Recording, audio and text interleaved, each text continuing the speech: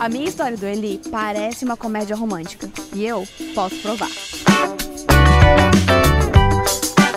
Essa é a Vitória Tudo. Ela tem 23 anos, é leonina e acredita que só há 5% de chance de alguém ganhar um reality. Esse é o Eliezer. Ele tem 10 anos a mais do que eu e acredita que há mais chance de se apaixonar dentro de um reality do que ganhar o programa.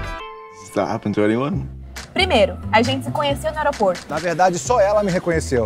Well, this is unexpected. Eu fui até ele, ele não sabia quem eu era e nem ligou. Não, não é bem assim. Why? Porque quando ela chegou, eu tava tirando foto com muita gente. Subtle status drop there. Ainda bem que um fotógrafo, que hoje é nosso amigo, avisou pra ele que era eu. A parte legal é pensar que se não fosse essa sequência de coincidências e empurrõezinhos, a gente não teria se conhecido e não teria nossa filha hoje. Down for a cheesy rom-com. As long as there's a happy ending.